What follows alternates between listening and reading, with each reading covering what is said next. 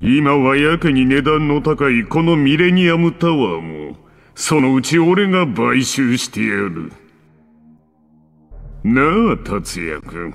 君が望むならこのミレニアムタワーに君の住居と専用ジムを作ってあげてもいいんだよ。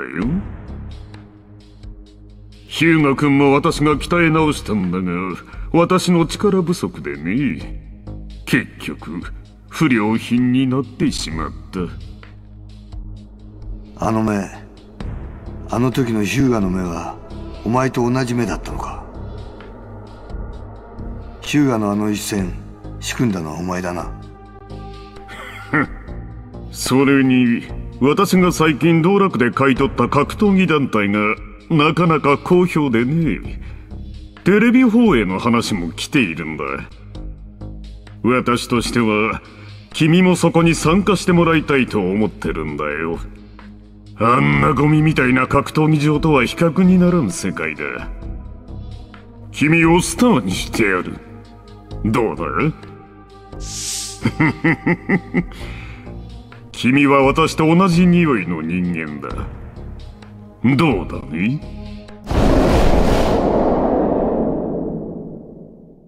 悪くない話だ。達也君それが正解だ。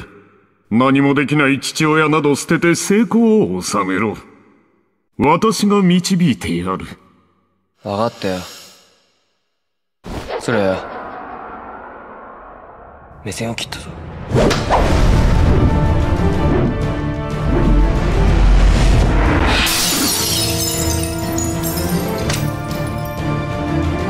何？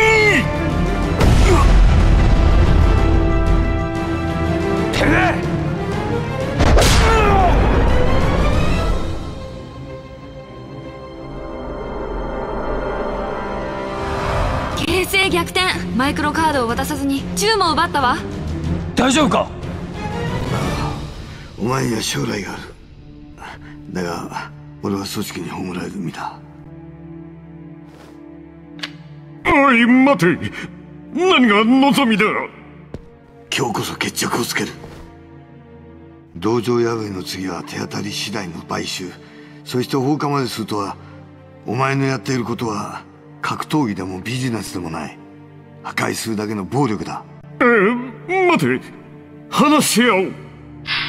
達也見ろ。丸腰の相手に銃を向けるとこれだけ優位に立てる。用心棒まで従えた権力者がまるで蛇に睨まれたカエルだ。これが暴力だ。お前が昔信じていたものだ。だが暴力はお前の進む道ではない。達也竹中にマイクロカードを渡すと連絡を。場所を変えよう。マサ真剣勝負させろ。真剣勝負？達也。もうもういいじゃない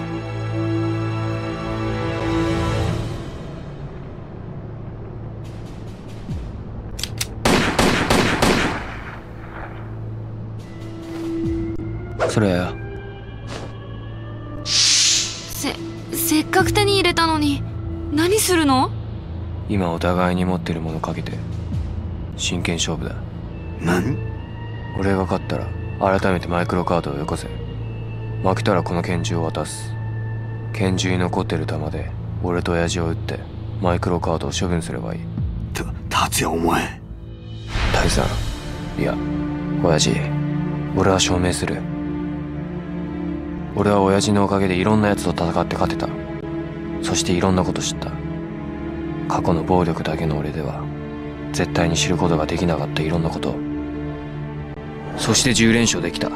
それは親父の格闘技に対する哲学の証明だ。そしてそれは俺の宿命だったんだ。でもここで親父の夢を潰した相手を倒すことは。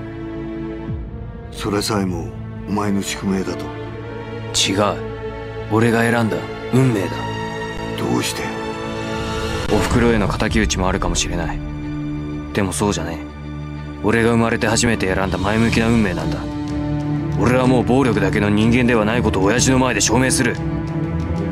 そのためには親父から受け継いだ宿命を超えて俺自身の運命をかけて証明すんだ。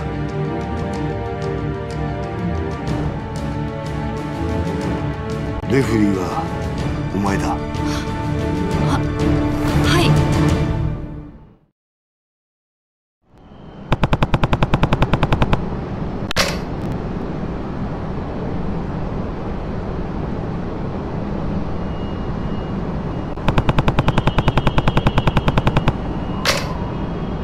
也君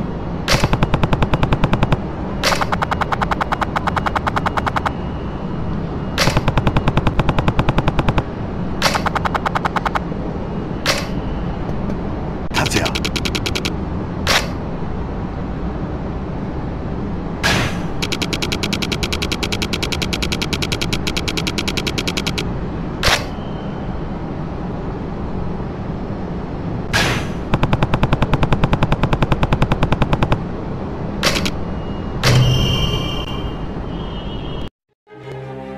奴の蹴りは確かにすごい破壊力だ。一発で仕留める訓練もかなり積んでいる。開発された殺人兵器のようだ。アドバイスは？お前の全てをぶちかましてやれ。それだけ？俺から教わることはもう何もない。ドラゴンヒートで学んできたことを全て出すんだ。そうか。よし。ちょちょっと達也君あ？なんだ？いやその。行ってくるぜ。行ってこい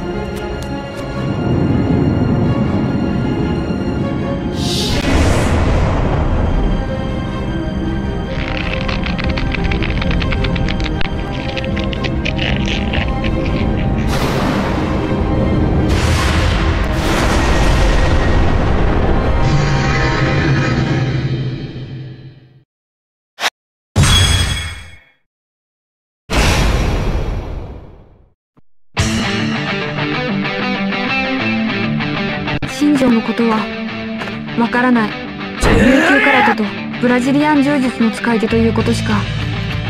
達也君これが最後の戦い。絶対に負けないで。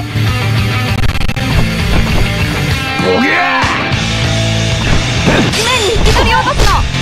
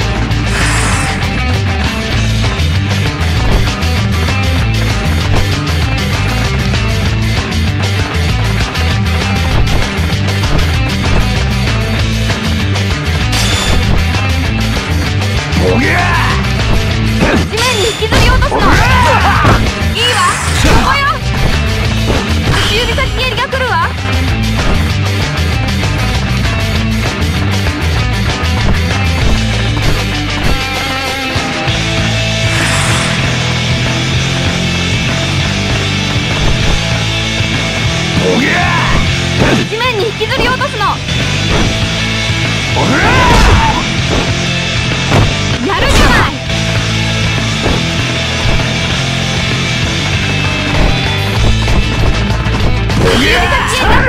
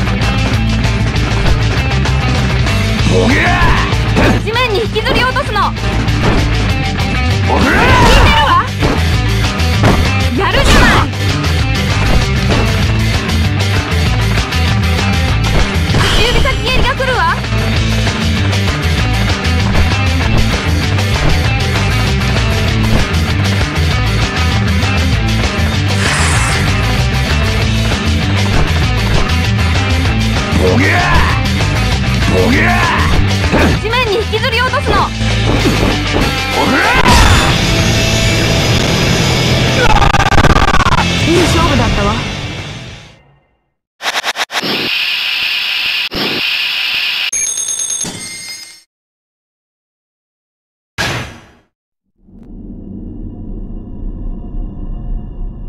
おい。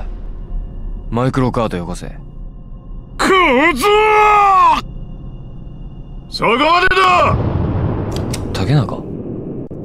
なんだ何の真似だ？15年前の焼肉屋資金事を放火容疑で逮捕する！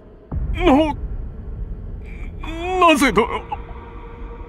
達也データはちゃんと携帯で受け取ったぜ！え携帯は奪われたんじゃ？やっぱりね。え？え？竹中さんさっきメールしたでしょ。おう。さっき達也くんの携帯が光ってたから見たの。するとメールが入ってた。竹中だ今どこだって。竹中さんの携帯は筒井が踏み潰したはずなのに。その後にメールが来るなんておかしいって思ってさ。とりあえずその場でもう一回同じ内容をそのアドレスに送っておいたのでこの警察から支給された携帯に届いたってわけか。お嬢さんの起点に救われたな。そんな大事なこと早く言え。よさっき言おうとしたわよ。でも達也くん気合入りまくりでバトルに向かっちゃって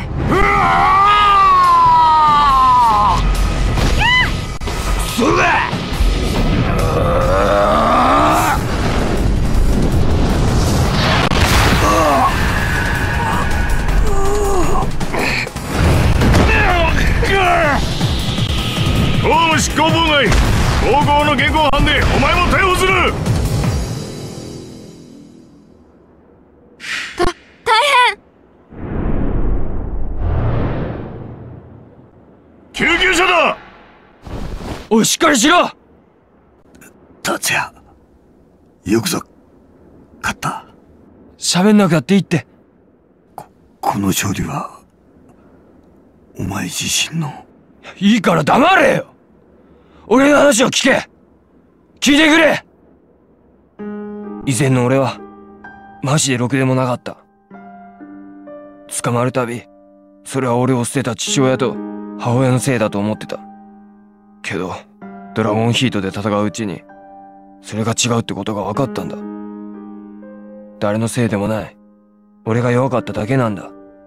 でも今俺が少しは強くなれたんだとしたら、それは、親父、あんたのおかげだ。達也負けるなよ戦い続けろ生きることは戦いだ超えろ。己の宿命を、そして手に入れろ。ああ。俺の哲学をな。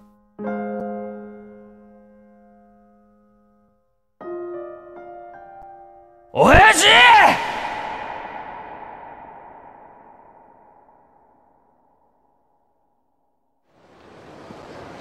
俺はこのまんまでいいのか？ん？戸田を襲った件そのままだぜ。うん？うん。何のことだっけな？そんな被害届は出ていないぞ。それに忙しいんだ鷲尾殺しの件が難航している。筒井があの秘書に命じたんじゃねえのか？いや筒井は鷲尾に対してだけは襲う動機がない。恐れていたのは戸田だけだ。じゃあ久喜はなぜやられたんだ？やったのは結局内通者と呼ばれる人間じゃなかった。それも新庄のようだ。自供した戸田の録音データのありかを知っていそうな一番の人物であり戸田殺しがお前ではないと知っているのも久喜だ。生かしておけば誰が戸田をやったのかも調べるだろうからな。ふーん多分戸田を消しデータを消去し久喜も消して全てお前のせいにするつもりだったんじゃねえか？で筒井も吐いたのか？筒井は黙秘を続けている。が秘書である新庄は戸田久喜に加え鷲尾も俺も全て自分が襲ったと自白した。筒井に脅されてやったと言ってな。随分あっさりと吐くんだな。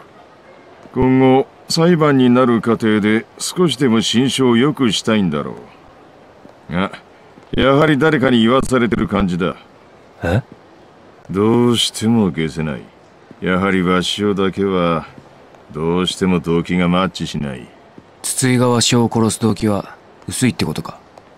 うんそもそも殺す必要がない。だとしたら殺す必要がある人間が別にいる。きっともう一人共謀者がいるくれぐれもパクられないようにお願いしますよ安心しろ本社に甘い汁を吸わせている男がいる彼もこの町が良くなって喜ぶさ。ちゃんと抑えるべきところは抑えてやる。あの本社ってのは？どこかの会社の本社なのか。それともいやまさかな。まさかって？警察の隠語で本社は本庁という意味だ。もしそうだとしたらつまり警察にまだ黒幕が。とにかく俺は一人でも探ってみる。そういえばこれお前のだろう？あああったんだ。全ての押収品が本署に行っちまう前にたまたま見つけたんだ。サンキュー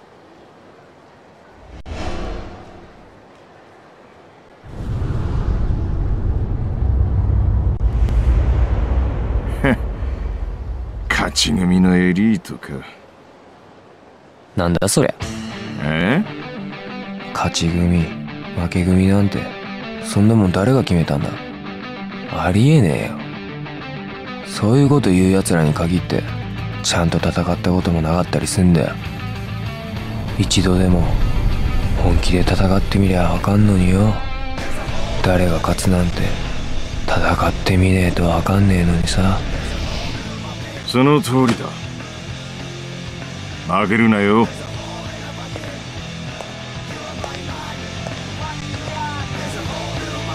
負けるわけねえだろ。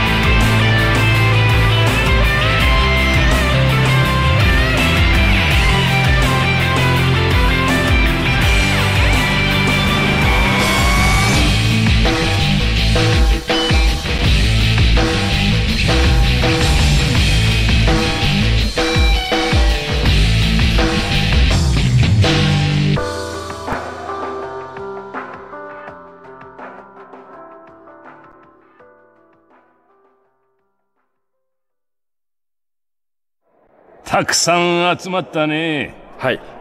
これからは部長ではなく先生と呼ばせていただきます。まだ早いよ。でも君もよくやってくれた。当選したらポストは任せておきなさい。ありがとうございます。